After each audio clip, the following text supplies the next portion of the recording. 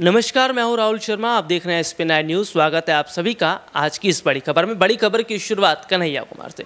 कांग्रेस के युवा नेता कन्हैया कुमार की अगर ज़िक्र करें या बात करें तो कन्हैया कुमार इन दोनों फॉर्म में ज़ाहिर सी बात है, कन्हैया कुमार जो है, वो जिस तरह से आज मुद्दों को रख रहे हैं, जिस तरह से मुद्दों को वो पेश कर रहे हैं, ये कहीं ना कहीं ज़रूर बताता है कि क्या वाकई बहुत बड़े हद तक बदलाव हो रहा है या वाकई बहुत बड़े हद तक स्थिति बन रही है। लेकिन कहीं ना कहीं जो आज हम कन्हैया कुमार को जिस तरह से देख रहे हैं या कन्हैया कुमार को हम जिस तरह से स्थिति को ये समझ रहे हैं कि भाई कन्हैया कुमार जो है, आने वाले समय में कांग्रेस के अंदर बड़ी भूमिका निभा सकते हैं। एक छोटा सा वीडियो अपने दर्शकों को ज़रूर दिखाएँगे कि कन्हैया कुमार किस तरह से, जी हाँ किस तरह से कन्हैया कुमार जो हैं, वो जमकर निशाना साध रहे हैं। किस पर निशाना साध रहे हैं? मोदी सरकार पर निशाना साध रहे हैं। बीजेपी नेताओं को घेर रहे हैं। सबसे पहले तो ये वीडियो देखिए। बीजेपी की लूट का पहाड़ है, उसके दोस्तों के छूट का जो कारोबार है, ये जो बेकार की बात है, उससे एक रास्ता बनाने के लिए रोज़गार की बात करना ज़रूरी है।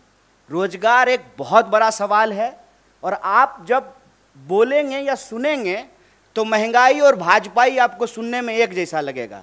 महँगाई, दंगाई, ये सब जो है, भाजपाई शब्द से मिलते जुलते शब्द हैं।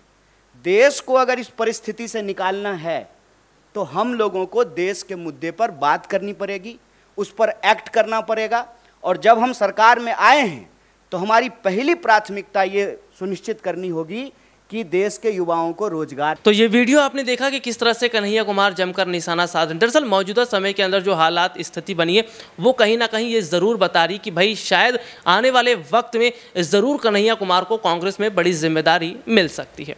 आज के लिए इतना ही। आपसे फिर दोबारा मुलाकात होगी। तब तक के लिए इजाज़त दीजिए।